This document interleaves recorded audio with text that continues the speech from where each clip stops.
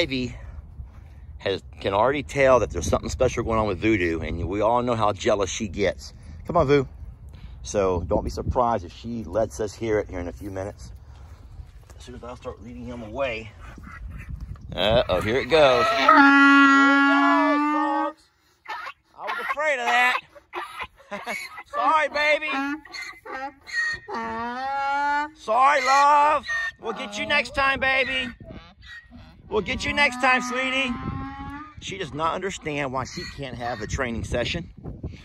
She just doesn't get it. She wants to be trained, right? Voodoo. It's not fair that you get all the training. And she doesn't. Well, good morning, folks. Happy Saturday. We're about to start our second session with Voodoo.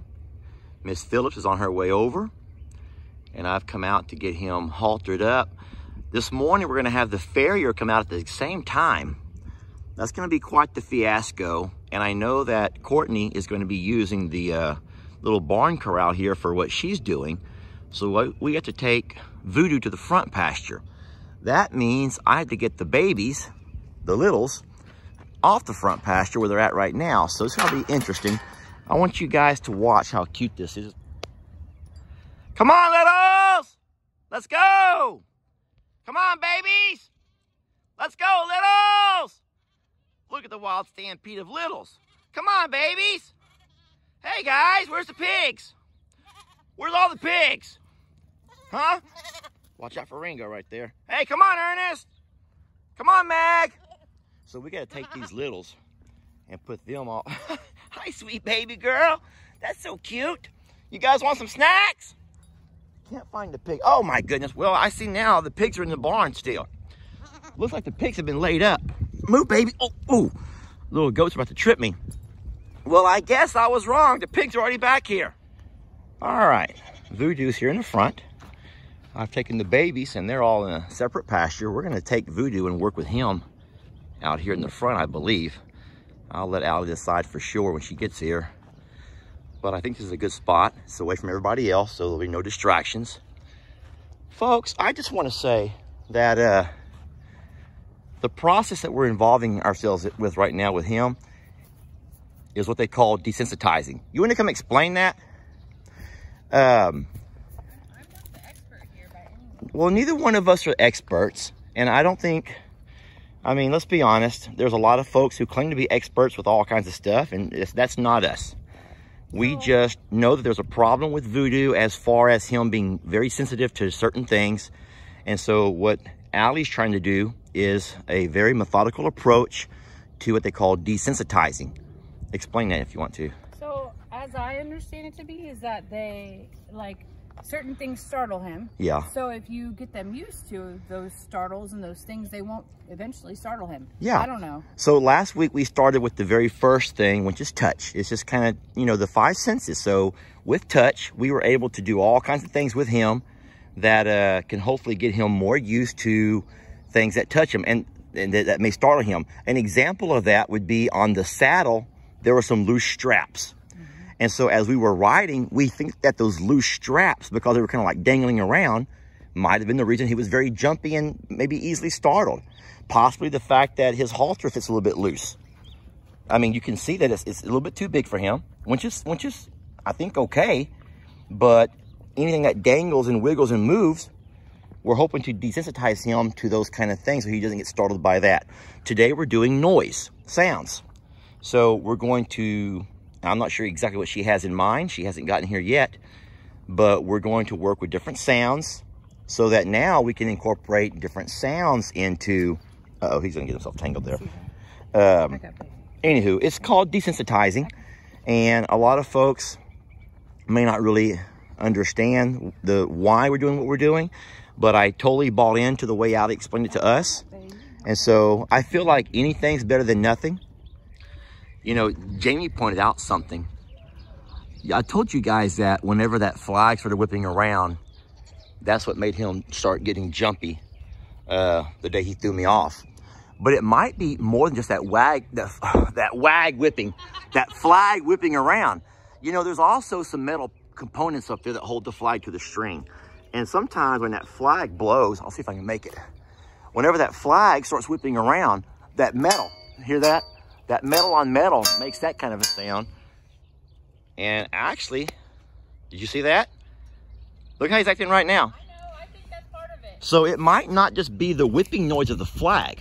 It might could also be the metal on metal clang that he's scared of. So Definitely paid attention. yeah, we'll figure it all out. I hope. But hey, Look at him. He did not like that. no. Sorry, buddy. That was definitely a trigger. It might be more noise related than anything else because he seemed to do fine with touch. Well, he's found nice green grass in his pasture out in my yard. Yeah, I don't have to mow now. Okay, folks, so Allie's back, and today we're working on noise desensitizing. And so what we have over here are a whole uh, collage of things we're going to use that make some pretty annoying noises. Um, clanging of buckets, bells, oh, the old whipping, wish, wish, chains, metal on metal. And uh, so we're about to get started here. Anything you want to say before we get started? No, just watch his reaction. So, okay, so what we're doing over here, I'll be making noises from a distance. And we're going to watch his reaction to those noises so we can kind of tell uh, which things he's sensitive to, right? Yes. Come on. Now, right now, Voodoo only wants to eat some of this green grass out of my yard. His pastures, nice yeah. All right, so we're gonna go ahead and go with the bell first. All right, so I'll go with Ringo's bell. You ready?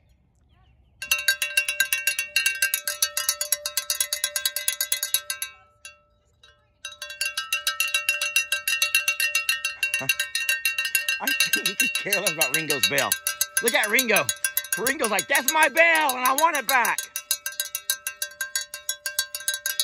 Ringo's very jealous. I know it's about, that's, oh, that's all I got. Now this was actually bought for Ringo. Look, they put our address on it and everything. It's a little bit too heavy for Ringo's neck. We did put it on him just for a photo op, but he was not having it. A little bit too big and too heavy for his little neck.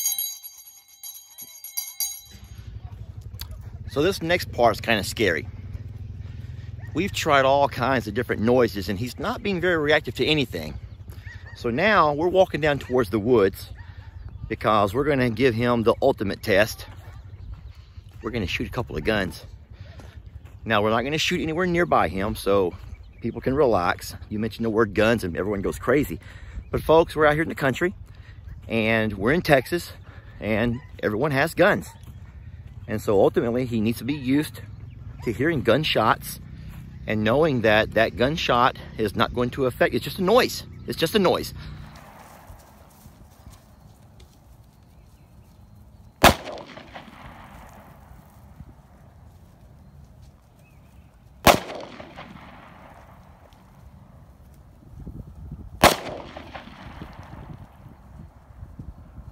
You don't seem bothered at all.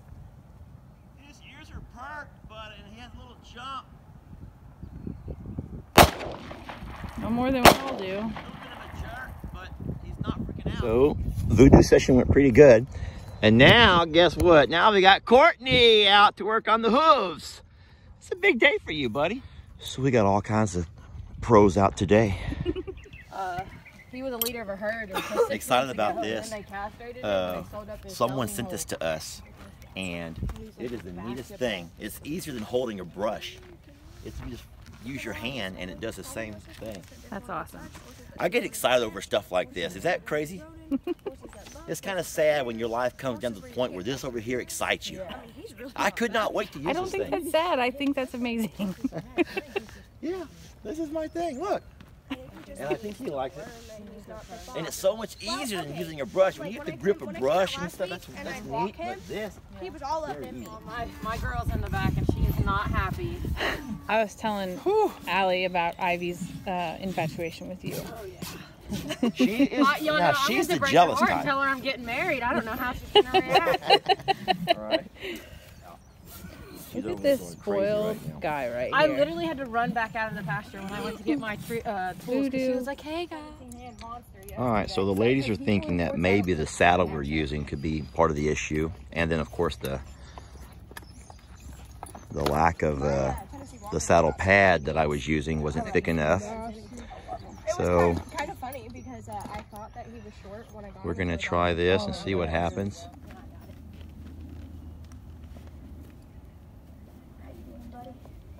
His ears are forward, they're not back. That's good. Step up. The tree is right behind you. No problem. Oh boy. Go from the other angle. He's just being testy. Yeah, I'm gonna give. I'm not gonna have y'all lifting me up. I don't. Courtney. I don't. Oh, this is the best day ever. I give you what's called This is a the best day ever. You put your feet up there. I put my hand behind your thigh, and when you jump, I just give you a boost. I can do this. You can do this. Are we ready? Yeah. Hell yeah. So he's, he's, put he's like, he's like, I'm getting it. one, two, three. All right, don't pull on the Don't pull back. reins. Straighten your saddle up.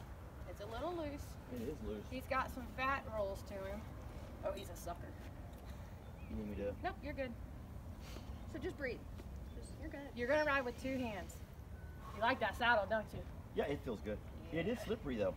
It's a ranch hand saddle. Hey, come on, let's go, boo. Huh?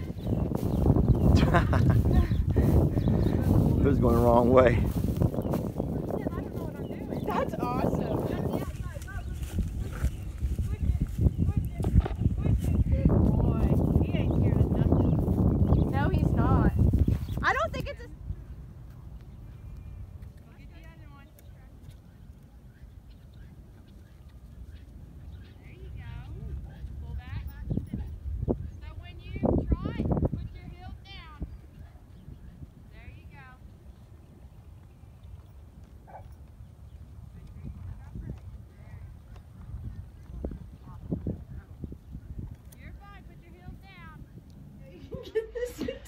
All right, so it has been determined that it was actually not the rider entirely, right? Yes. It was not. It was a fair. combination of, I think one of you guys said it, a lot of the, the tools that the rider was using.